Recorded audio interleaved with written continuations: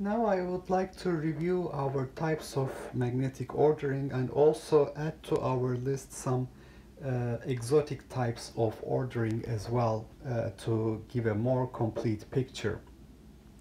So we talked about uh, paramagnetic uh, substances. So when we have a paramagnet, it means the following. If we have a magnetic field, a paramagnetic material will be attracted. So it's attracted by a magnetic field. It, it, it does have a susceptibility chi which is positive but it is typically small in the range 10 to minus, uh, 6 to 10 to minus 4 the susceptibility varies with temperature as 1 over T and uh, typical examples of paramagnetic materials could be for example sodium and aluminum uh, and it has a zero moment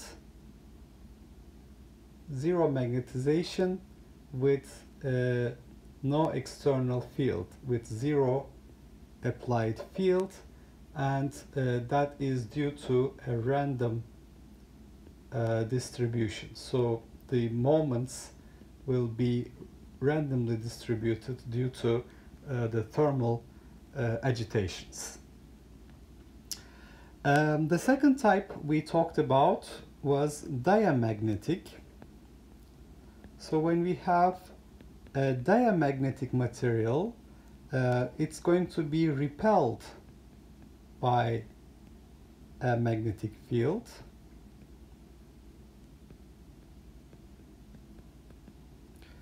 Uh, we will see that it has a susceptibility which is not temperature dependent. It is negative, uh, uh small in the range minus 10 to minus 6 to minus 10 to minus 4. Uh, we can give example uh, copper, for instance. Um, on the other hand, superconductors are uh, perfect diamagnets which we will talk about in more detail later. Uh, perfect diamagnets, the susceptibility is minus 1. That's what we mean by perfect diamagnet. It has uh, zero magnetization, zero moment uh, with zero field, zero magnetic field due to a random distribution of moments as well. Then we talked about uh, ferromagnetic ordering.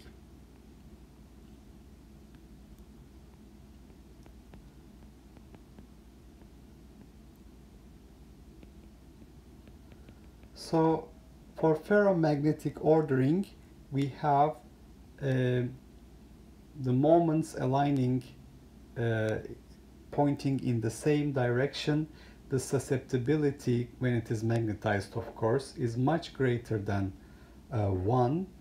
The susceptibility is field dependent. Uh, the magnetization curve M versus H is hysteretic.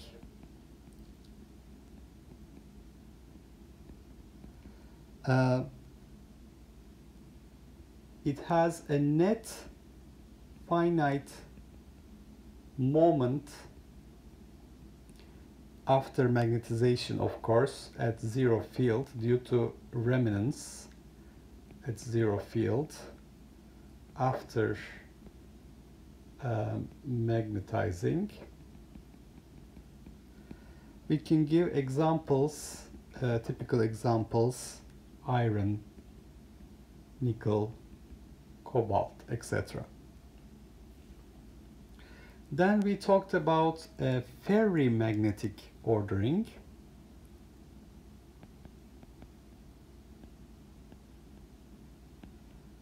Ferrimagnetic means uh, we have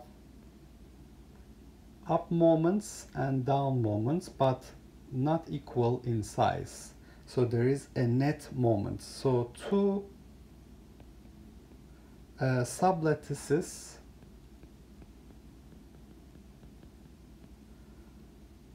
that are non-equivalent. They don't uh, compensate for each other.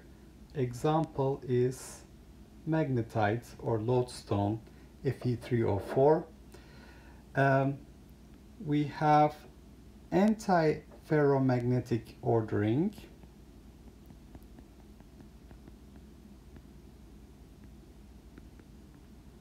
In the case of antiferromagnets we have two spin sublattices that are exactly canceling each other.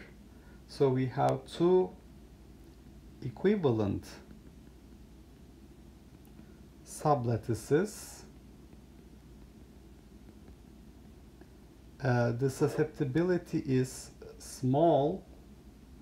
It is positive at the Néel temperature T is equal to Tn Néel temperature. It becomes a paramagnet.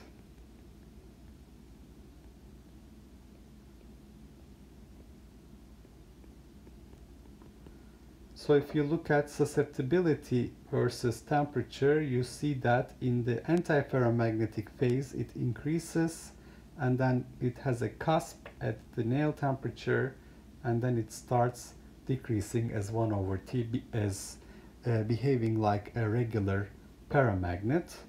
Uh, examples of antiferromagnets include manganese oxide, iron oxide, cobalt oxide, etc. Now I want to talk about some other uh, classes. So uh, a ferromagnet becomes uh, super paramagnetic at some point. Uh, so let's talk about this concept, super paramagnetic. That is to say you still have uh, these moments lined up in some certain direction, but they can spontaneously flip to a opposite direction. They this is basically thermally unstable net moment. That's what super paramagnetic uh, means. So we will also talk about that when we consider uh, memory applications of magnetic materials. Now, uh, I would like to talk about more exotic cases. Uh, one of them is uh, spin glass. So spin glass is basically a random orientation of moments. So you have the moments uh, pointing in uh, random directions. There is no net moment but there is no net moment even with an applied magnetic field.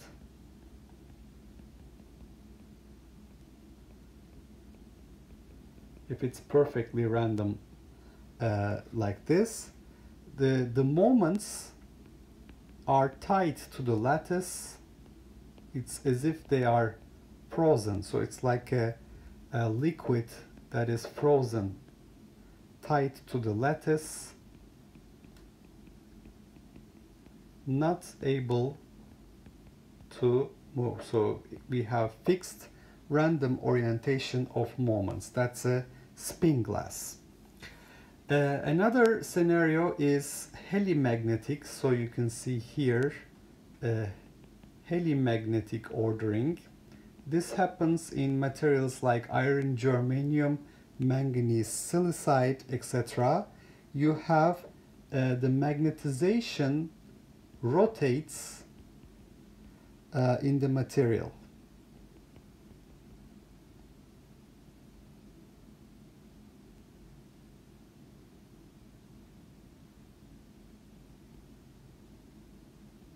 It's following a helical structure, so that's helimagnetic. Uh, we have also um, asperomagnetic. So you can see what we mean by asperomagnetic, speromagnetic and sperimagnetic. So these are happening for um, alloys that basically contain a ferromagnet and a rare earth material.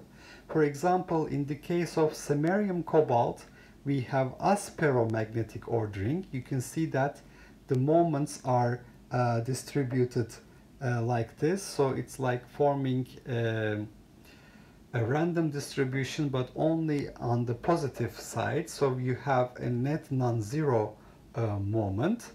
Uh, for the case of speromagnetism, which happens, for example, for yttrium cobalt, you have uh, the again the rotation of moments, so all angles are possible, which gives you a zero magnetization. Uh, and for sperimagnets like iron terbium, you have, for example, a terbium moment pointing up, but iron moments pointing down, or vice versa. So that gives you a net uh, magnetization at the end. So uh, magnetic materials like iron terbium uh, are used in magneto-optic recording, for example.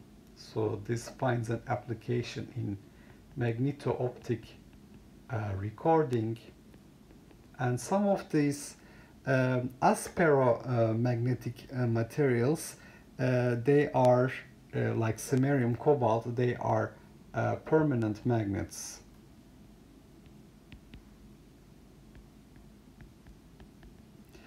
Okay, so uh, obviously one can uh, look up uh, other types of magnetic ordering. So the, it's also possible to have asperomagnetic and speromagnetic phases coexisting in the same material under certain conditions, etc. So that, that basically goes beyond the basics of magnetism. So this, these are more exotic orderings that you can observe. Okay, so to summarize, we talked about paramagnets. Paramagnets are attracted by a magnetic field. Susceptibility is positive and small. It's inversely proportional to temperature.